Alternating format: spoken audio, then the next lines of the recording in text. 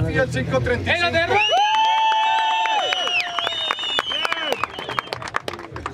La Harley aerografiada.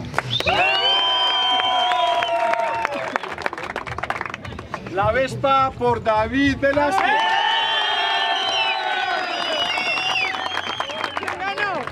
La Harley Edison de PlayStation Custom.